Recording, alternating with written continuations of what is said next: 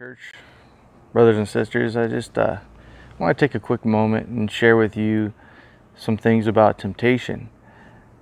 Um, I think sometimes, you know, I think there's a lot of people who um, think wrongly about where that temptation comes from or don't quite understand where that temptation comes from. Sometimes, you know, we say that, oh, this person tempted me or this tempted me or God tempted me. But that's one of the falses is that God does not tempt. And, um, you know, sometimes we blame and we give the, the enemy, the devil, too much credit as well. That, uh, you know, the, the devil tempted me, the devil made me do it, or you hear that oftentimes, you know, and it's just, it's just not true. Um, it's unbiblical. And so I want to share a couple scriptures uh, right now that, uh, that deal with that and show us that uh, where that temptation truly comes from. And I think that once we understand where that temptation truly um, comes from, where it originates, um, then we can truly um, start to um, uh, deal with the symptoms or where the symptoms are coming from. We can deal with the problem at the source. Um, when we start blaming other things or pointing fingers other directions, it's never going to be resolved. It's never going to be fixed because we're not attacking the problem um, where it starts. And uh, I think that it's very important that we understand that and we understand that we um, are the originators. And I'd like to share some scriptures. One is uh, from James 1 13 through 15. It says, When tempted, no one should say, God is tempting me. Because God does not tempt. For God cannot be tempted by evil, nor does he tempt anyone. And here's the answer. This next verse is the answer to where the temptation originates. And I think it's very important that we listen to this next scripture um, uh, verse, sorry, that um, because it is where it originates. But each person is tempted when they are dragged away by their own evil desires and enticed. It is our own evil darkness and desires that drag us away and entice us and I believe that the enemy, the devil, will use those things because he knows what will what will entice us. He knows what our our evil desires are, and he will use those things to encourage the temptation into sin. Uh, but we have to understand that it originates from our own evil desires. Because, see, it, it's going to require a purification of the heart from the Lord Jesus Christ and our relationship with Him to uh, purify and purge that chaff out of our hearts. Um, and I think that as we mature in Christ, those things start to disappear. But we first have to understand that that's where it's coming from. Uh, let's not give the devil too much credit. You know, he runs on credit.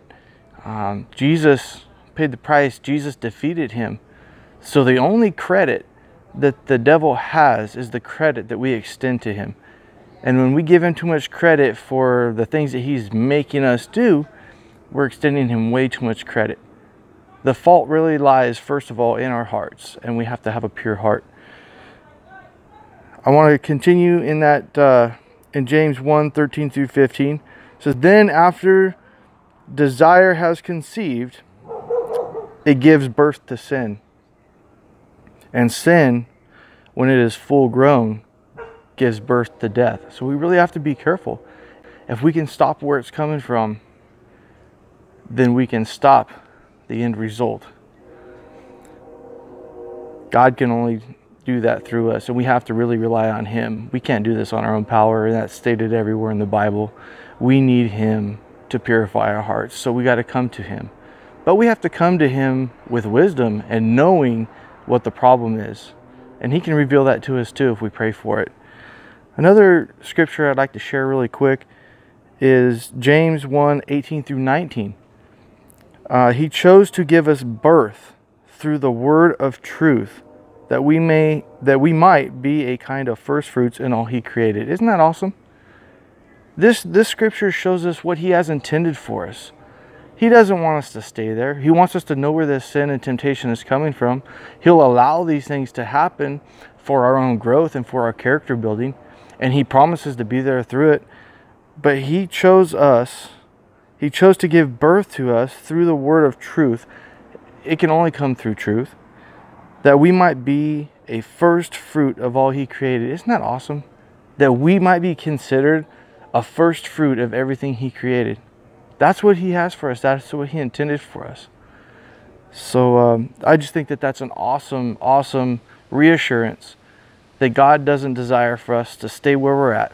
He has much more in store for us, but we have to be um, aware of what's going on in our lives and we have to repent of the sin that's happening and we have to rely on Him to show us how to get out of it. And we have to understand that these temptations that Scripture is talking about comes from our own evil desires. If we understand that, we know that it's our heart that's at fault and our heart that needs to be purified by the Word of God and by the relationship that we have with Him. It's so important and it's so freeing. And that's why, you know, the Apostle Paul says it. He has a clear conscience. What freedom it would be to have a clear conscience, don't you think? Well, we can get there. You know, we mess up here and there, but we don't have to live in the guilt because His mercy is greater. One more scripture before I leave you guys is in James 4 7 through 8. Submit yourselves then to God. That's the answer. So we need to submit to God in His truth. Here's another part of the answer is resist the devil.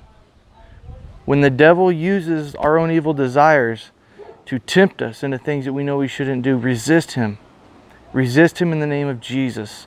Come to the Lord and ask the Lord for help to resist. When we resist, he will flee. And it says right there, it says, Submit yourselves then to God, resist the devil, and he will flee from you. Come near to God, and he will come near to you. See, when we search for God, He's calling us all the time. He's knocking at our door. When we answer and we want to come near Him, He will come near to us. Just like the scripture says, You deny me before men, and I will deny you before my Father. It's the same way. When we seek to be close to Him, He's, He will be close to us. He's just waiting for us. He's waiting for us to understand. So we just thank you, Lord Jesus, right now, Father God, and we ask that you just help us to re, to uh, bring revelation to a heart in this subject, Father God, that, that we can recognize where temptation comes from and how to deal with it, Lord Jesus. And we're so grateful for what you have in store for us, Father God, that come to you and seek you out. Father, you said that you will be near, Lord Jesus. I ask that you be near to everyone, anybody who's watching this, Father. I know we, we have all struggled with temptations. And we have all had questions why? Why, Lord? Why? But we know your word says, and your word is the truth. Your word says that you did not tempt us. You may allow it to happen for a reason to bring us closer to you. But you did not tempt us. It is our own evil desires that tempt us, Father God. And I ask that you help reveal that to us, show us the way. And we just trust in you. And I that you touch each and every person that's watching this and uh, just each and every person that's not watching this, Father, I ask that you call them unto you. Call them, touch their heart. Purify our hearts, Lord Jesus, so that we can be good representation of you and your truth. In Jesus' name we pray. Amen. Thanks for watching this this uh, morning and uh, just pray about it and uh, self evaluate. And know that it is our hearts that are leading us into this temptation and the devil plays on it. But let's not give him credit. Let's give God the credit because he can purify our hearts. Thank you for watching, and we'll see you next time. Bye bye.